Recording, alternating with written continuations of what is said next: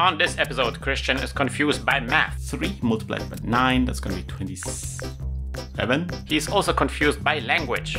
Is it lives or lives? So he uses the awesome power of loops to overcome his shortcomings. This is kind of like the real power of um, programming. Hmm.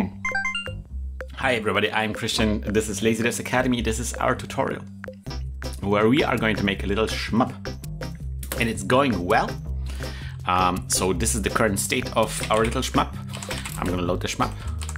And as always, uh, um, download of the current file will always be down in doobly-doo for you guys to check out. This is what we have right now. We have a little ship, little red ship, little blue flame, and gigantic, uh, gigantic bullets, bullets being shot. Now, generally, the uh, the goal of our tutorial right now is to to kind of like work on the other parts of the shmup, which is, you know, you want to kind of shoot more than just one bullet. That kind of feels bad, but also having enemies and and um, collision detection and so forth. This is where we are heading. This is our direction right now. Um, in order to achieve this, in order to get to, to this next uh, next level, we need uh, to expand our knowledge of, um, of programming. We need to learn some new tools. Uh, one of these tools I want to tackle today, this is going to be uh, an episode about uh, loops, especially the for next loop. That's something we're going to tackle today. However, um, I don't want to like do the for next loop and already start doing the complicated stuff like like enemies and so forth. Um, I want to pick something, uh, pick a topic, pick a feature that we can like that's kind of easy going that's not quite as stressful that's not uh, quite as complicated you know something that we can just like easy implement and understand this new feature and then we're to take this feature and apply it to something more you know uh, substantial, right? So the thing that we're gonna deal today is not gonna be quite as, you know, pressing of a thing to do right now. It's not necessarily the thing I would do if I would make the game, but it will teach us the skills to get there, you know, to get to those good stuff. Good. So today I want to do a little bit um, UI work. I want to just put some displays on the screen because you know in in every shmup you have kind of like a display of your like like of your life, right? Um, and then you have maybe have a score and so forth. And this allows us also to talk about, and that's going to be second goal today. Second goal. Uh, I want to drop some math truths about variables. We had variables, we've dealt with variables, we manip manipulated them, uh, but now it's time to kind of like lay down some groundwork and kind of like solidify our understanding of, of variables. Two topics today, let's go. All right, all right. So um, drawing something on the screen, drawing UI on the screen is not going to be quite as difficult for now. Let's start with something like a score. Um, so we have the draw function here where everything is drawn to the screen. And then uh, we want to draw, obviously, the UI on top of everything. So it's going to be the last thing that we're going to draw. This is kind of like a bit, maybe a bit unintuitive, but yeah, you draw everything from kind of like from the background to the foreground. And the foreground is going to be the last thing you're going to draw. Um, so let's just do a print statement let's just print a bogus score, something like score uh, 30,000, something like this, right? And let's print this uh, on the top of the screen. Uh, and I want to maybe it's on the top and the center. That's kind of like quite often where the where the score is. Um, so let's try something. I don't know. I haven't tried it. I, this is this is just like me uh, spitballing. Let's do it like in this beautiful blue color, 12. Um, so x coordinate is 30, y coordinate is y. I don't want to like touch the edge of the screen. I want to be like a little bit removed from that. And the color is going to be 12. Let's try that. Okay, this is good, this is good. Now I want to maybe move it a little bit to the side. Let's try 40. That's good. That seems like a good score thing. Okay. Good. Now, the thing is with a score, we probably want to have the score in a variable, right? We the, again, it's the same thing as I always said. Every time there's a, we have to add new new feature, there's probably going to be a variable involved. So let's just create a score variable, score, and let us just put a number in here, uh, thirty thousand. Yeah, sure. And then uh, let us draw this score to the screen. Now you will immediately notice here a bit of a problem here. Like we have score Um, but we actually written it as, as, a, as a text. We're to plug in the variable in here. Uh, I'm to plug just the score variable. And now we no longer have the score text, right? We don't have the, the text that, that's, that spells out score. Hmm. So maybe we want to maybe add the text somehow to the number. How are we going to do that? Well, now we have to discuss, you know, what are the things that belong in variables and how can we deal with them? I want to use score, the variable score here, as a bit of a laboratory. We're going to experiment a little bit with uh, with variables and kind of like gain a slightly better understanding of, of, what are the things that we're putting inside the variables. Okay, I already already said you know we the blue stuff is the thing that goes in the variables, and so far most of the time, I mean, they look at, uh, at the variables that we created here. Most of the variables that we so far created were um, were numbers. We just put numbers, and so this is the first thing, the first type of the information that we can put into variables, numbers. An example of this is score equals, you know, 30,000. That's the, thing that we had here uh, up here, here. The thing about numbers that you should know is that, first of all, we can have comma numbers. So we can have, you know, 30,000, comma 5, right? That, that, that's possible. You can do that. that that's, that's fine. And of course, you can do math with numbers. That's also incredible. So you can add five to this, this thing, right? You can have like a little, little math happening here and you can put the result into a variable. Run this, yes, and this is, this is good, this is good. Uh, we can divide it by five. Look what happens there. Ooh, interesting, good. Something that is a bit problematic is that uh, there is an upper limit of how big of a number we can put in a variable. That is kind of crazy, and, and that's kind of very specific to Pico 8, and I want to for you to know about this. So let's put 40,000 in the variable, and suddenly, wait, that's not the number we tried. We, it should be 40,000, but it prints, the number that it prints on top of the screen is minus 25,000. How, how does that, what happened here? something got lost in the translation, right? Well, there is an upper bound. There is a higher, the highest possible number that you can put in a variable. And if you try to put a variable inside that is bigger than that highest possible number, then uh, the variable ends up remembering a different number. Uh, it kind of like overflows and goes back into negative and goes up again.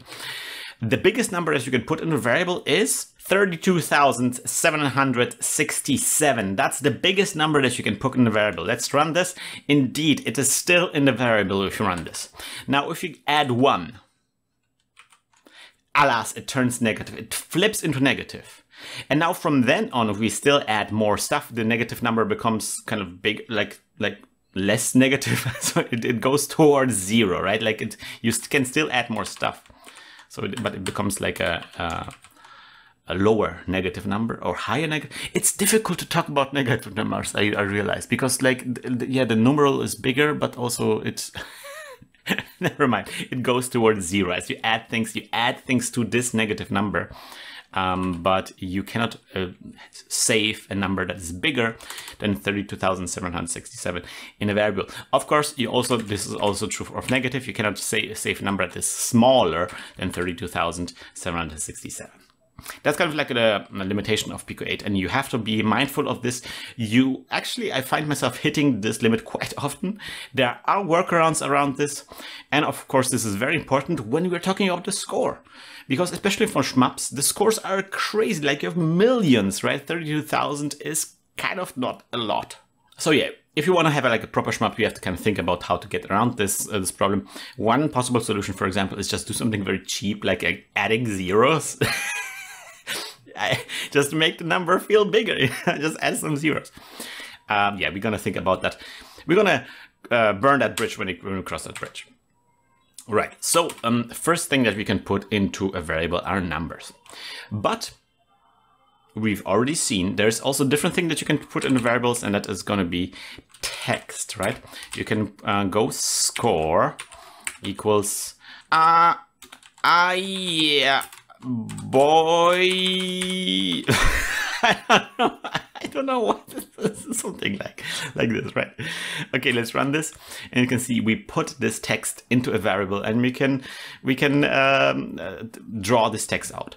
Uh, important thing about text usually is that it is enclosed in quotations. So Pico 8 doesn't try to execute, doesn't think that this is some kind of instruction or something like this. Doesn't even, like, it, it just like, ah, okay, it's in quotation. I'm not going to bother about this. I'm just going to, you know, take it, take, take this block and just put in a variable. I'm not going to try to execute this or interpret this. It's not, not some kind of command or function.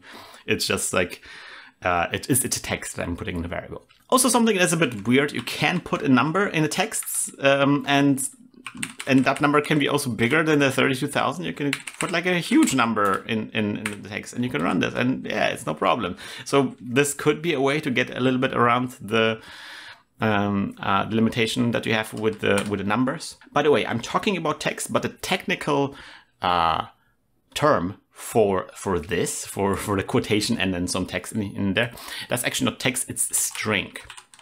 And that's something we should remember. I will use the word string from now on because this is something I'm familiar with. This is also something that you see in a lot of other programming languages. It's a string of characters. Okay, so something that we have to keep in mind is that you cannot really do math with, with strings, right? If you have score uh, equals text, uh, we cannot add one to text, right? That doesn't really work. You get an error message and that's kind of like, ooh. But Pico 8 is kind of a little bit lenient about this and I kind of like this about Pico 8. So if you have a string and in this string is some number, like say um, 45, right? And I'm gonna run this. I'm gonna take the text 45 and I'm gonna add one to it. It kind of works. It kind of works. It's see, you see, it's 46 because Pico 8 uh, looks at the string and try and tries to add one to it and realize, oh no, my Dofus programmer is trying to add one to a, a string. Ugh doesn't he know that that that this is this is a string? Ah, but then Pico 8 does like a check. Wait a minute, let's look at the string. Oh, there's a number in the string. Well, maybe I'm just gonna you know close an eye here and let this slide, you know, and I'm just gonna okay, probably they meant they want to convert this to a number and then then you know so forth. So. So it lets us, um, you know, do math with uh, numbers that are in strings. That's kind of nice. Now you might be thinking like, oh, is this a way maybe to get around the limitations? Can we can we just add like a huge, this huge number that that barely fits into the normal variable and add one to it and then get around the limitations like this? Nah. Nah, it, do it doesn't work like this. Basically, what the Pico 8 automatically does, it converts the string into a number and then does the math. And then if the number is too big, then it overflows and, and so forth. So no, it's not, it's not a way to get around this. Um, you might be like thinking, okay, so I cannot add a number to it to a string. Like I cannot, like if I do this, it's it flips out. Uh, but can I maybe combine two texts, like something like texts, like uh, you know, uh, Mar Marco plus Polo, right? Something like this uh, doesn't work. And there's some programming languages where it actually works. It doesn't work in this case because you know this symbol is reserved for math, for for for numbers. But something you can do, and there's a special symbol for this, is uh, dot dot. The dot dot operator uh, is kind of like allows us to combine two, two strings with, with each other. That's kind of really cool. I like that. And the cool thing is also the dot dot allows us to combine a string with a, a number. So I can do like Marco 32, run Marco 32. Nice! So this would allow us to do something like, you know, as we had saw before, you have score and then you add the, the actual score and uh, this allow, allows us to, you know, print the score with a label, you know, that this is the score uh, in one go without having have, have to have like two separate uh, print statements. That's kind of like really neat. Good. Let us move on to some, there's two other types of things that you can put in a variable that we kind of encountered, but also kind of didn't encounter. You can also put true in a, a variable. You can also pu put false in a variable. Now this is not the text true. This is not a string with the word true. This is actually the meaning of true and false. And this type of, of data variable is called a Boolean. Uh, there's a mathematician, famous mathematician who came up with some rules of Boolean math and and uh, so yeah, there's there they called the variable after him or the variable type. So yeah, there's some variables that are just true or false. Uh, we had this a little bit in the if statements, right? We have if uh, you know something something, then well, the something could be a variable, for example, that contains true or false. We haven't encountered this kind of situation, and we I'm gonna um, you know do a callback on to this when we encounter a situation. Uh, we did have the btn, right? btn zero. In this case, the btn function returned true or false. Like it actually returned the variable value true or false um, just like to set you up a little bit to kind of like give you an understanding of what, what was happening behind the scenes. You don't have to, like, if this sounds alien to you right now, that's okay. We haven't dealt with this yet. I'm just gonna like giving you, like listing you all of the possibilities right now. So, um, so when we encounter them later, we can, we can do, we are not too surprised, right? And there is a one last thing that we also kind of encountered, um, which is um, score. Ah, by, by the way, I did a mistake here. Uh, oh yeah, by the way, do we, if we run this, can we run, can, yeah, it actually does print false and true on uh, when we print it with a print statement. So you can't print true or false, it actually prints the actual word true or false. Right, so the final thing that you can put in a variable, and it is kind of like a special thing, is just nil you can just put nil in a variable and that's special. We already encountered this a little bit. Uh, nil is kind of when the variable is empty. And I don't mean zero. Zero is a number. That's actually a number and can be very meaningful if something is zero or not. Nil is less than zero to some extent. Like it's, it's even more empty than zero. It's just like nothing. It's just like a blank slate, right? All variables usually start with nil in them. Um, and you know, usually when we define the variable, we assign them some value so they're no longer nil. Generally, it's not a good idea if a variable is nil. You know, that means that something maybe went wrong. Because you usually what you do is then you go do like nil plus five. You do some kind of math, right? And then there's a kind of error, right? This is kind of like an error measure that you often see. If you fail to define a variable, then it assume it creates a variable, but the variable is nil, and then it tries to do math with the variable, and then uh, you know, all, all kinds of hell breaks loose. Uh, but yeah, just I want just you to um, be more familiar with the concept of nil, with this this keyword nil. That can be also inside a variable. It just means the variable is empty. Numbers, strings, booleans, and nils. Four things that you can put in a variable. Uh, for like basic variable types in in Pico 8.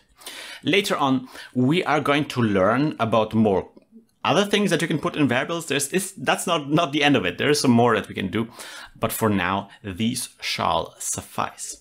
So for now, for the beginning, I'm actually gonna start with uh, with just a simple score. Uh, let me just start with um, 10,000 in the in the score value. I mean, we would usually would start a game with zero, but just I want to see a big number so we can kind of like um, see what the UI will look like. And then when we're printing, I'm actually gonna do like, so the score actually uh, has the number of the score, so we can do math with it.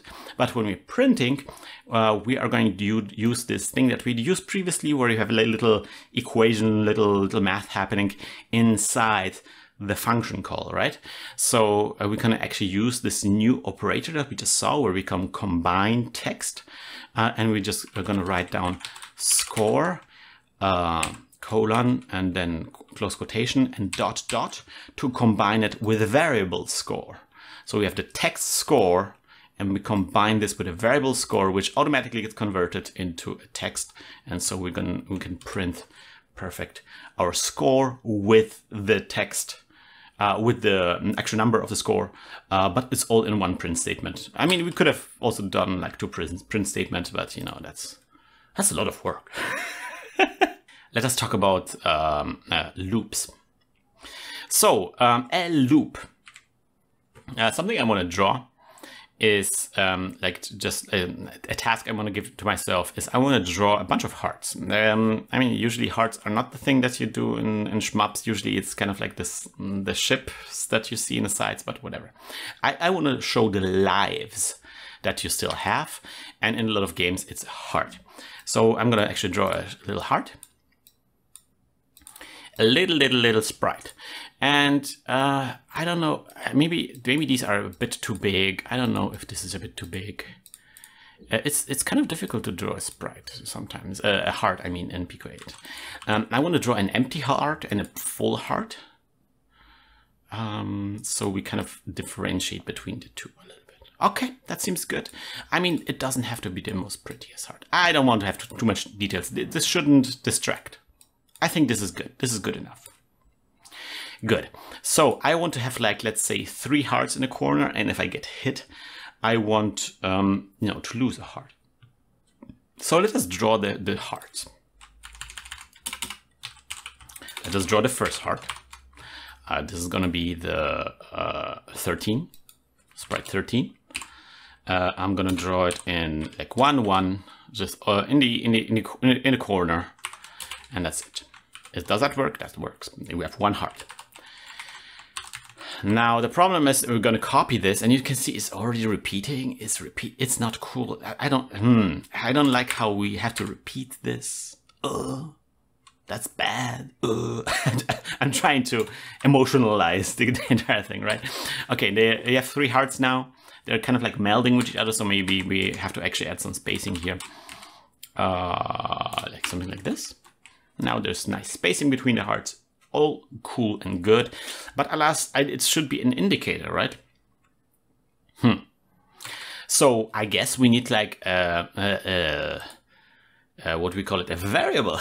That's right, a variable uh, that that has like the lives number, right? Like lives three, right?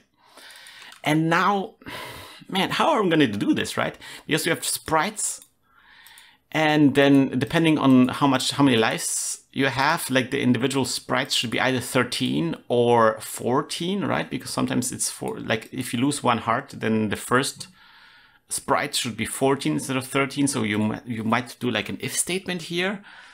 But then there's like you know three if statements and six six sprite statements. That's crazy right? Like it's that's a lot of code for something that's kind of simple right and what if we at some point we decide that we want to have like five lives? Like what if we co collect more lives? I, I, oh man, this is this is getting like out of hand for something like for some easy UI. This should be a lesson for you in one in one regard. UI is actually super difficult to program. That's something that a lot of people who are new to video game development kind of like are surprised by. Yeah, UI is is is the most difficult thing to do because it's very tedious and, and, and it involves a lot of details and, and there's a lot of writing and and there's a lot of things that can go wrong, a lot of like special cases that you have to cover. Ah, it's and you don't think about it. It's just like it's like an air you breathe, you know. it's kind of really funny. This is a bit of a problem. Uh, how can we simplify things? Well, uh, loops to the rescue. So yeah, you probably can already tell from the name, a loop is something where we say, this piece of code, I want to repeat it X times. I want to just do it a couple of times. It's always the same thing, but uh, but I want to repeat this. And a very famous and very, I personally, my favorite kind of loops is just a humble for next loop. I, I, I know it as for next loop because I grew up with uh, basic as programming language and, and there it was for next. Uh, here in Lua it's just for loop. Okay, we're gonna write for, and you can already see, okay, this is turning pink, that's good. I equals 1 comma 3 do. And then we're gonna do end. Whoa! that's that's some that's that's the if statement was nice. It was kind of like this, you know, it was almost English language. This is not Eng- this is weird weird language. So let me let me break it down. It's, it's it seems a bit impenetrable, but actually it's really really nice. So the for next loop, uh, the for loop here, allows us to repeat what's inside the loop uh, multiple times. In this case, we are going to do this three times. I've been living in China too long. I cannot do any signs and because Chinese, like you one, two, three, four, five, but then when you get to six, they continue doing things on the same hand, and I, I cannot show numbers anymore. I just don't know how they work anymore with my hands. okay, uh, so yeah. Uh, back to the topic. So in this loop will uh, loop three times. Uh, I'm going to put some sprite in, in it so we can maybe see some results. Oh, oh actually, no, let's not do a sprite. Let's just um, do a print. Let us do a print and go hello. Uh, let's run this. I'm see you. Oh, that's that's a good lesson here. So I made a mistake. I'm uh, there's nil nil nil there. We already had nil just before. The problem is here that I not did not I don't not printing uh, the text hello, I'm printing a variable that I just invented called hello. And we haven't assigned any value to that uh, variable. And so Pico 8 just created a variable for us. And a new variable always has nil in it. So we're printing nil three times. okay, I'm going to turn this into a string. And then I'm going to run this and you can see three times hello is being printed. Perfect. So we can see that uh, whatever was inside this loop was repeated three times. So we have four. Um, each for loop has a counter variable. There is like a little variable that comes with each loop and it kind of like kind of only, only works for within within the confines of this loop. We're going to talk about this, this kind of like weird special type of like mini variable. And this variable um, counts how many times the loop has been going. Okay. In this case, um, we can actually give any name to our variable. We can call this Bob that's fine. It will still work. I is a very popular name for these kind of counter variables. Uh, says index, I guess, or counter. I don't know. I. Let's just let's keep it at with I is a very popular thing that you will see all over again. So okay, fine. I then equals um, one. This is the the first time the, the loop goes through. That's going to be the starting value of I. We're going to start counting at one. Then we have a comma. And then three is the final value of i. It will basically going to repeat the loop, counting i up by one until i reaches three. So in the first loop, i is going to be at the starting value one. Blam, we are printing hello. On the second loop, we're going to add one to i, which is going to be two now, and we're going to do the loop, print hello. Okay. And on the third loop, we're going to add one more to i, which is now going to be three. This is good. This is the the the flag that we set. Like now the loop is over, so we're going to run it one last time, printing a third hello, and the loop is going to be finished. Okay. So for example, if I now put six in here, you will see six hellos why such a complicated thing? Why can't we just have like, you know, repeat the six time, you know? Why do we have to start a starting value? Why do we have a variable for this, you know? The reason for this is that we can actually use i inside the loop. So it's not exactly the same thing that's being executed. So things are changing around things a, a little bit. And that's kind of really neat. For example, let's print i. Instead of hello, let's just print i. And you can see one, two, three, four, five, six. It prints actually the value of i as the, the code is repeated. And that's incredibly useful uh, to do all sorts of funny and, and good shenanigans. I just also wanted to show you that you can have a different starting value for i. So you can start like with 3, for example, and you can see three, four, five, six. So now uh, the loop has been actually repeated four times because we are starting with 3. That's something that's, that's, that you can do. And if you want really, really fancy, sometimes it requires, you know, you really have to do it. You can do it. You don't have to add one for every loop. You can change things around. Special type of loop, basically. You can, for example, go backwards. So let's start with six and go all the way down to one. But this requires us to kind of like add a comma minus one. And so the third entry here after the third comma, which is optional. You don't have to supply it. If you don't supply it, it will assume you want to add one. But if you uh, add a third value here, it will you know add that value on every loop. So now we have the value minus one, which means we're counting down from six down to one. Right? Six, five, four, three, two, one. Good. Good. What happens if if we start with six, go to one, but but but we count up?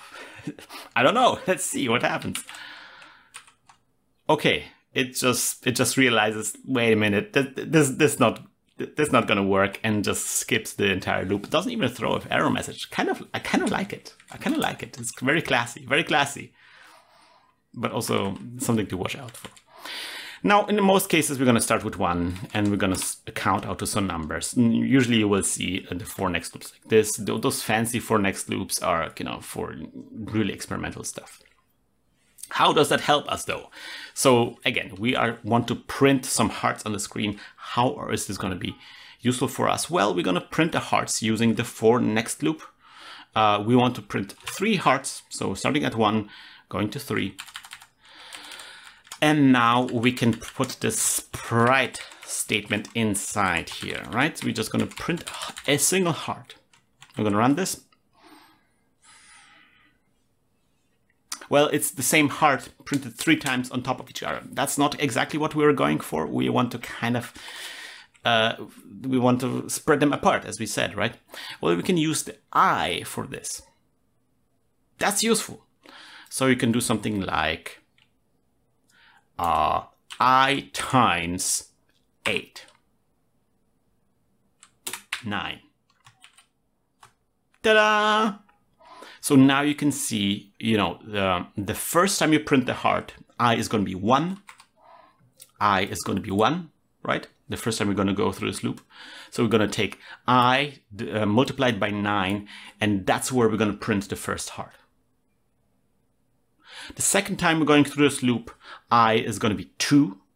So we're going to uh, multiply the 2 with a 9, we're going to get an 18, and that's where we're going to print the second heart. And the third time we're going to print, go through this loop, i is going to be 3. We're going to take the 3 multiplied by 9, that's going to be 27? 27. I'm sorry, I'm not good with math. And that's where we're going to print the uh, third heart.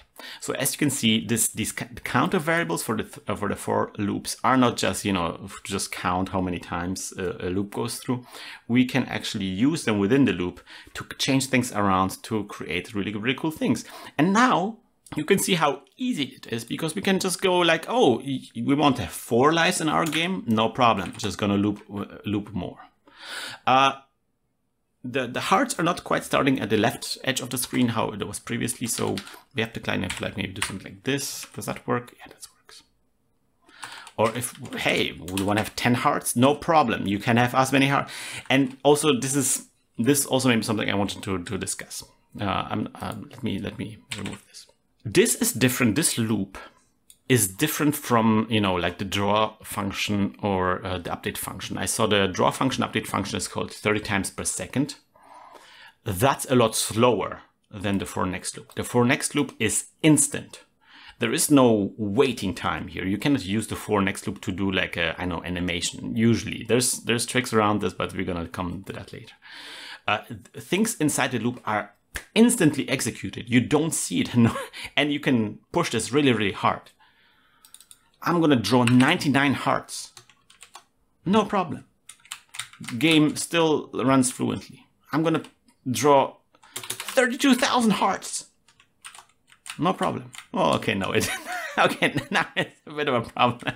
okay, um, but yeah, uh, let, let's see what the limit is. Ten thousand hearts. Ten thousand hearts still is, is, is it's fine.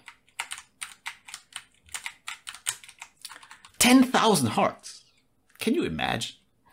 Uh, and you can see that the, the, like it goes off screen and then actually the variable overflows and then it goes back. It's crazy. that I like to say like this is a way of like touching infinity. This is kind of like the real power of um, programming to some extent. It allows you to automate things, right? To do things that uh, manually you wouldn't be able to do before. Uh, like drawing 10,000 hearts. Like it's it would be kind of like really annoying. Like even if you do it by code, right?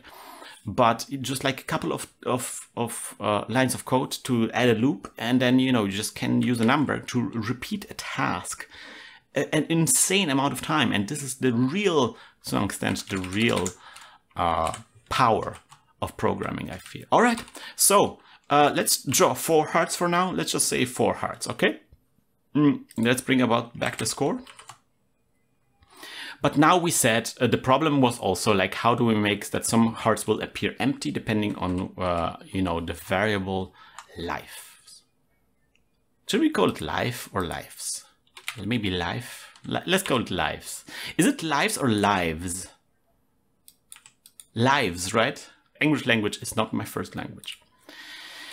Okay, so here you can do something like if lives is greater than, so um, hmm, we have to think about this now. Okay, uh, let's just go like if lives is greater than i, then print sprite.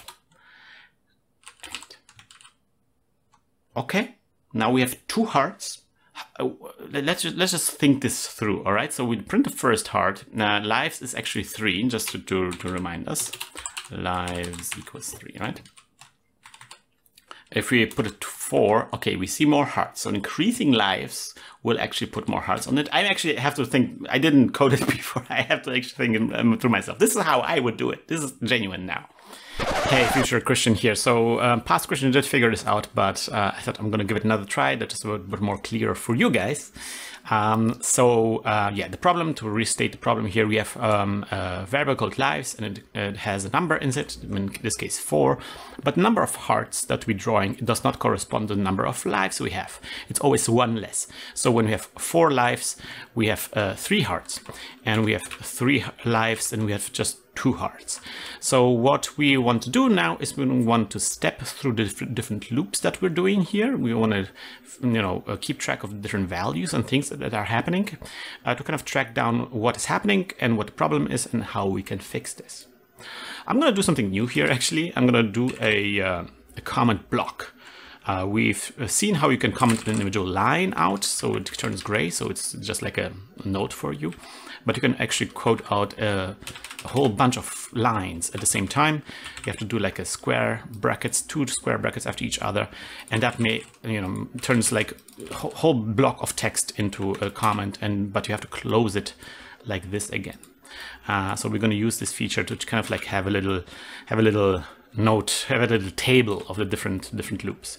So we're going to count the loops uh, we're going to write down what i is. It's kind of obvious, but we're going to still write it down just in case. Uh, we're going to have the if statement, what the if statement is. And we're going to write down if the heart is being drawn. Okay, so we have loop one, two, three, four. There's four loops from one to four, right? So we're going to write down what is happening on each given loop. Right, so on the first loop with i is one, and the if statement here that we're checking here now that is 3 greater than 1. 3 greater than 1 is true. So we are going to get a heart drawn. So the inside of the if statement is being executed. We are getting get a heart on the screen. That's good. On the second loop, i is going to be 2. And the if statement here is going to be 3 greater than 2. Uh, that's true. So we're going to still have a heart. That's good. On the third loop, i is going to be 3 and you can already maybe see where this is going. Uh, the if statement is 3 greater than 3. Now, this is a bit of an edge case, right? Like, okay, 3 is not greater than 3, 3 is actually equal 3. So this is actually false. This statement is false. 3 is not greater than 3. It's not true. 3 is just not greater than 3. So we have to say we have no heart. The, uh, this if statement is skipped the heart is not being drawn. No heart. And that's bad. We want to have the third heart. And uh, this was not covered. Okay, but let's continue on. So on the fourth loop, i is going to be 4. And the statement is going to be 3 equals uh, 3 greater than 4. Uh, that's also wrong. 3 is not greater than 4. Actually, it's the opposite. So again, we have no heart, but this time it's okay. This time it's fine. We, want, we don't want to have 4 hearts. We just want to have 3 hearts. So as you can see, this is the problem here, the, this, the third loop where uh, i is 3. That's the problem that we have to address here now. And so I'm gonna uh, move back to a past Christian who will show you a cool trick on how to solve this problem. So this is actually a good moment to introduce you to a new uh, operator to compare two variables that is kind of uh, nice. So this is greater or equal. Greater equal. So it's greater, the actual greater sign, and afterwards the equal sign. Ta-da! So now we see three hearts. That's exactly how many uh, lives we have in our variable. And if we set it to two, we see just two hearts. If we set it to one, we see one heart. If we set it to zero, we see zero hearts. Sometimes, you know, figuring out this algorithm requires you to kind of like, you know, go through the code and, and, and, and do some, like, just actually follow what will happen when you do things. Also, just like fumbling around, just like poking and, and doing things. Um, yeah, greater or, or equal. If uh, this statement is true, if lives is greater or equal i. You can also have it smaller than equal. That's also a valid operator, smaller or equal. Okay. And of course, remember, if you want to have lives exactly equal, then it's a double equal sign. You can do that as well. okay. Greater than equal. That's the, the correct one. But we want to print, like um, right now we have three hearts, but we have the empty hearts, right? We want to see like the, the, the hearts that, that we lost, right? That, that, that we no longer have.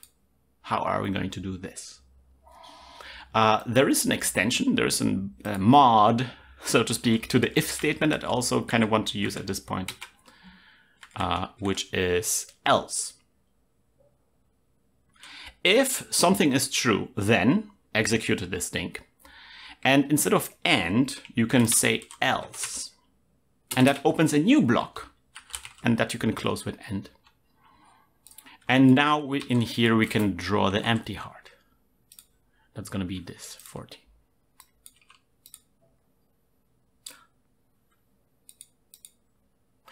If lives is greater equal i, then you draw the full heart.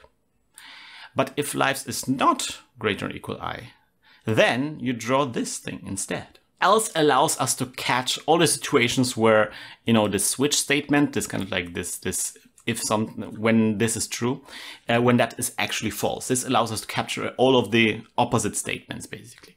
And that's kind of really nice and very useful. Um, yeah, and so this is what we wanted. Now you see the empty hearts. And if lives go down to one, you will see that there's just one heart, but you can see still the, the, the empty hearts. Something I also wanted to show you is that the i variable only exists kind of like within this block, this little block. If we print the i variable here outside the block, print i, it's nil. You see, there's nil. It's weird, right?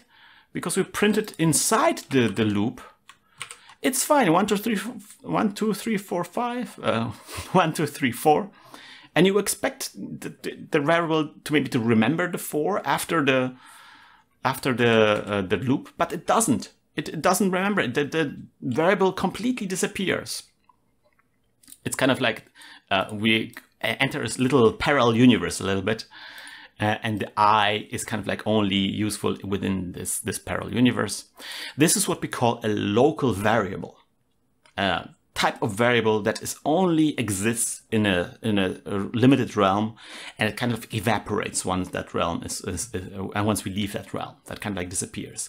And this is kind of very useful not to have like a lot of variables in your program that trash the memory or you know like just like oh, when when there's like all these little loops and they all create a new variable and that variable just stays there after the loop is finished, you will get like you would fill the memory of, of your computer with with all these trash variables. And in order to be really clean and, and, and tidy about these things, we have these variables that are just like that only there for a very specific purpose and disappear after that purpose is gone.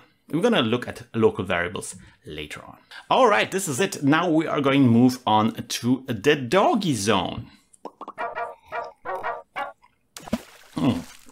That's right, the doggy zone. This was a very theory heavy episode, so I'm not gonna um, give you too much of a homework this time around, but I will give you one assignment, which is gonna be pretty easy, I would say, which is, we uh, there's another thing that you sometimes have in, in uh, Shmups, which is bombs, like a bomb display. So I want you to create a bomb sprite and maybe like a used up bomb sprite, I don't know.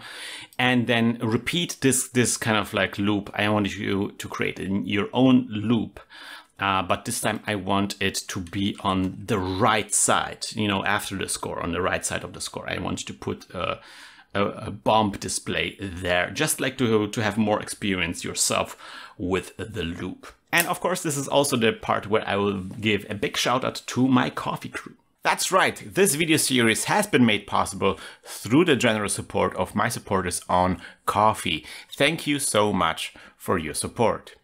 And if you aren't a supporter yet, consider a sub or a one-time donation over at Ko-fi. One of the major perks is that you'll gain access to new episodes of this series earlier, so there's no need to wait. And there's also all sorts of other behind-the-scenes features. Check it out at ko-fi.com slash lazydevs.